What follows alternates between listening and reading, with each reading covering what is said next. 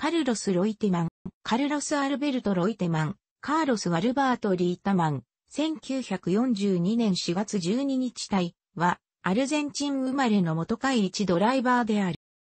祖父はスイス系、母親はイタリア系。1972年、前年会2のチャンピオンを取ったブラバムから会1にステップアップ。レースデビューは29歳であり、デビューの遅いドライバーである。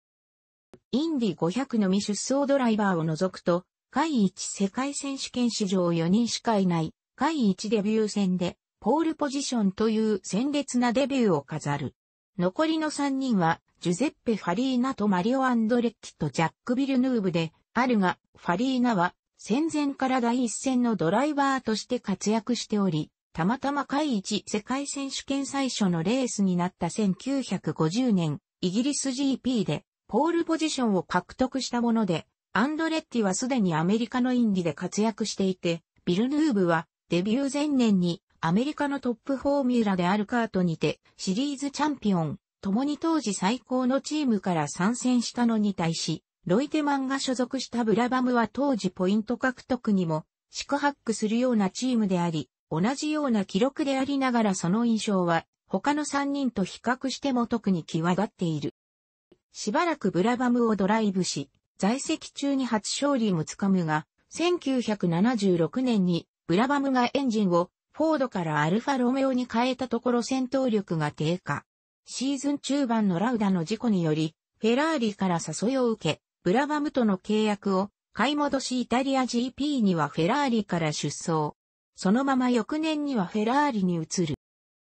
フェラーリ移籍1年目の1977年にはニキラウダと共に戦いコンストラクターズチャンピオンを獲得。ラウダが不満を言うほどの交代遇で迎えられ、これがラウダ離脱の一因とも言われる。実際、チームに嫌気のさしたラウダは、チャンピオン獲得を決めるとフェラーリを出て行ってしまったラウダの抜けた後は、チームリーダーとして活躍するが、歯に衣着せぬ物言いからエンツをはじめとするチーム首脳に疎まれ、また、ラウダの代わりに加入したジルビルヌーブの方が、そのアグレッシブな走りからチームに支持されるようになり、居場所のなくしたロイテマンは1978年限りでフェラーリを去ることとなる。翌年のフェラーリ 312T4 の出来が良く、その一方で、ロータスのマシンの80は、前年のチャンピオンカー79から一転して、負となり、ロイテマンは年間を通して79をドライブするも、結果としてチャンピオン獲得のタイミングを逃してしまった。1年間のロータス在籍を経て、1980年からウィリアムズに移籍。その年は、チャンピオンとなったチームメイトのアラン・ジョーンズの後陣を排することも多かった。翌1981年には序盤にチームオーダーを無視してジョーンズとの関係が悪化、ポイントを取り合う形となって、ジョーンズやネルソン・ピケと激しくドライバーズタイトルを争うことになる。途中までリードしていたものの、1点リードで臨んだ最終戦のアメリカ GP で、ピケ5位、2点獲得、ロイテマイ8位、ノーポイントとなり逆転負け、結局シーズン2位に終わる。結果的に1981年シーズンもチャンピオンを取る力は十分にあったもののチーム、チームメイトとの意思疎通により、チャンピオンを取ることができなかった。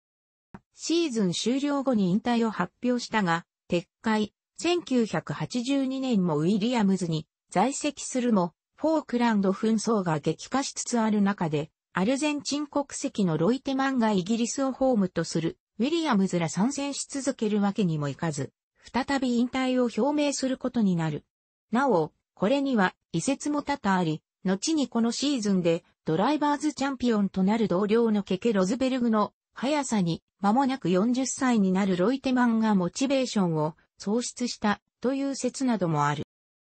気難しいことで知られ、レース直前のインタビューでも難しいよと一言言って去ることが多かったと言われている。また、フェラーリ時代のチームメイトでもあったニキラウダからは、奴はヘビオに冷たいとまで言われていたともされる。1973年のルマン24時間にフェラーリから出場したがリタイアとなった。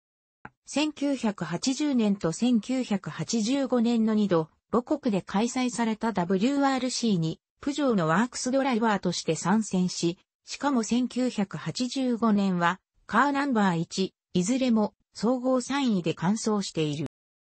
引退後は政界に進出し、1991年にはアルゼンチンのサンタフェ州知事となり、2002年にはアルゼンチンの大統領候補にもなった。また2011年の大統領選挙にも再び出馬する意向を示している。